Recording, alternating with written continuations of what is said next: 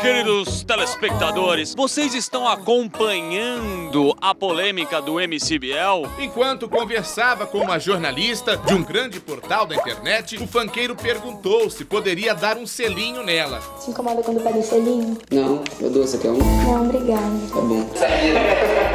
Vai, dá uns pontos porque ela é gostosinha. Se eu te pego, te quebro no meio. O MC Biel declarou, entre outras coisas, que a repórter que o entrevistou era gostosinha e quebraria ela no meio se tivessem relações sexuais. A mulher não gosta de ser maltratada. Na verdade, a mulher precisa, deve e tem todo o direito de ser respeitada na integralidade e no carinho. Essa ideia de que a mulher gosta de ser maltratada é bárbara, ultrapassada e imatura psicologicamente. Polêmica foi tanta com o MC Biel que diversas pessoas se pronunciaram na internet. Cada um colocou o seu arroba, o seu tweet, dando a sua opinião se ele foi grosseiro, se ele foi machista. Aliás, Felipe Neto fez no canal dele Não Faz Sentido este belo vídeo homenageando o MC Biel. E aí, quando todo mundo esperava que o Biel fosse a público falar: Gente, fiz merda, desculpa, vou repensar os meus atos. Não. Eis o que disse Biel. Infelizmente, a felicidade acompanhada do sucesso incomoda. Não consigo entender como é que não levaram na brincadeira em se tratando de mim, um cara que perde o amigo, mas não perde a piada. Moleque! Se a mulher ficou constrangida e relatou o assédio e mostrou que ficou incomodada, Biel, você cala a boca e só abre de novo pra pedir desculpa. O que, que você achou do MC Biel, desta polêmica que está todo mundo comentando? O que, que o MC Biel falou que eu não tô por fora desse mundo? Ele falou pra repórter que ela era gostosinha e que racharia lá no meio. Nossa, isso daí é pesadíssimo, não. Ele foi muito ignorante. Eu daria um socão na cara dele. Se eu... Você daria um soco na cara. Teve um cara um dia que me chamou de gostosa na rua, aí eu falei, me respeita, mano. Aí ele falou assim, respeita o c... E a gente começou a discutir.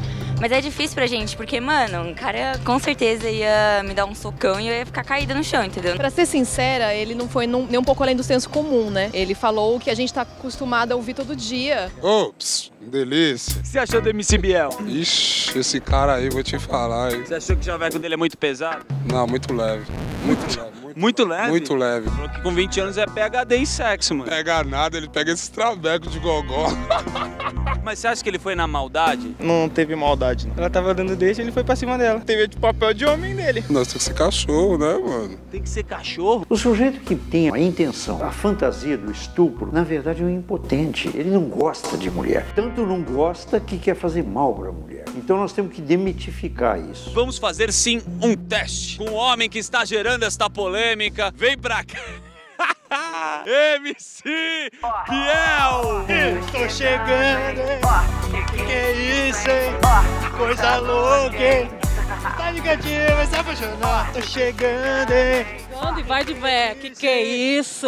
Minha mão ramelona lá. Cheguei e falei a real. Te quebraria no mesmo, mas no sentido mesmo de, de quebrar mesmo, entendeu? Numa boa. Tem uns caras que é como esse aí, que se acham acima da razão e mais do que isso, onde o que prima é ignorância. Esse aqui, MC Biel. E aí, eu já tô legal de você. O Marcelo Cezende falou mal de mim, mas eu fui muito bem no programa do jogo. Que costume você tem antes de entrar pra fazer show? Eu vou ao banheiro. Vamos ouvir você cantar uma palhinha, a gente quer Vambora. ouvir Boquinha. Boquinha, legal. Gente, na palma da mão, animado, vai tão feliz hoje. Começa beijando minha orelha, já me provocando, falando gracinha. Enquanto ela se ajoelha, já se preparando com aquela carinha. Boquinha. Biel! Na verdade, eu fiquei muito nervoso, porque o Jô é um, é um monstro sagrado e, na verdade, eu quebraria ele no meio também. É o nosso Justin Bieber brasileiro. É muito forte mostrar essas imagens. Vocês depilou, mano.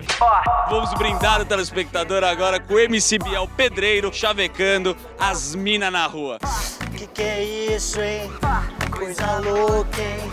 Que que é isso, hein? Sabe que eu não gosto de política, mas te achei mó partidão, hein? Que que é isso, hein? Coisa louca, hein? Fuma não, fumar faz mal, deixa que eu te dou um pito. Coisa louca? Só oferecer uma coisa. Tu não quer ajuda pra carregar a sua sacola? Eu quero ajuda pra carregar a minha aí. Hã? Tô chegando, hein? Peraí, dá licença. Você joga basquete? E só te olhar me deu vontade de dar uma enterrada. Uh! Eu sei que tu tá saindo do metrô, mas você não quer passar na minha catraca. Você me fala que não, e eu agradeço a Deus. Eu sei, me fala que não. Oi, tudo bem? Sabe que eu não gosto de política, mas eu te achei demais. Você tá de vermelho?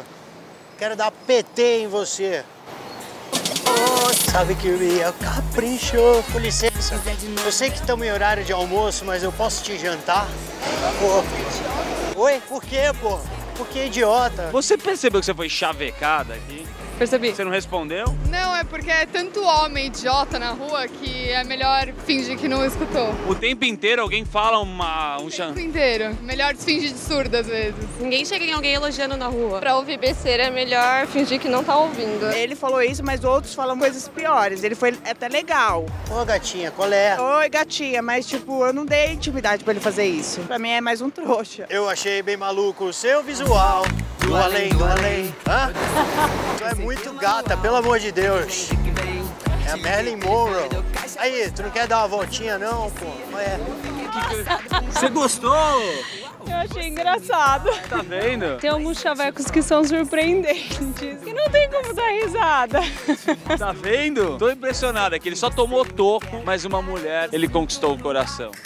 Não é bem assim. Fala que sim pra render a matéria, pelo amor de Deus, porque ninguém tá dando entrevista aqui e o chaveco não tá funcionando. E a roupa do McFly, que ele acha que tá parecendo o Biel.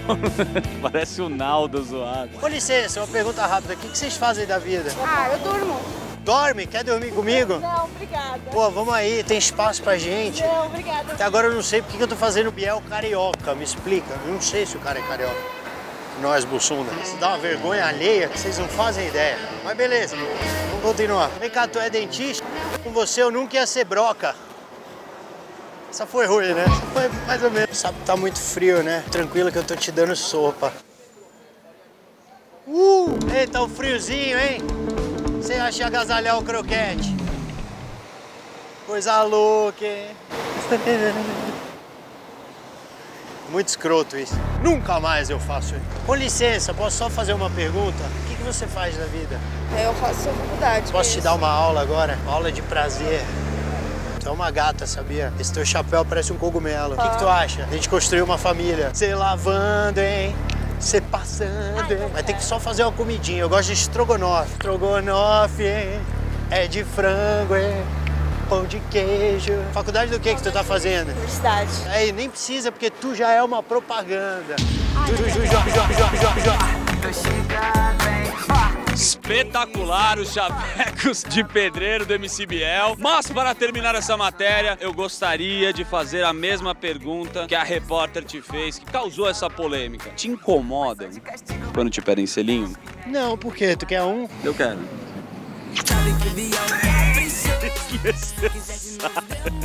Coisa escrota, hein?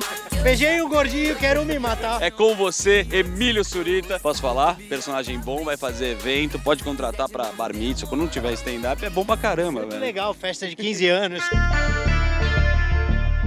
Queria dizer que eu tô aqui primeiramente pra pedir desculpa. Eu nunca imaginei que minhas palavras pudessem machucar de fato quem me entrevistava. Então eu tô aqui pra pedir desculpa, pra me desculpar, não só com a repórter, mas com todas as mulheres que se sentiram ofendidas com as minhas palavras. Não devia ter feito isso. O Biel que deu aquela entrevista não é o Biel que vai continuar daqui pra frente. E vocês podem esperar um amadurecimento no meu trabalho e também como pessoa depois disso. Desculpa.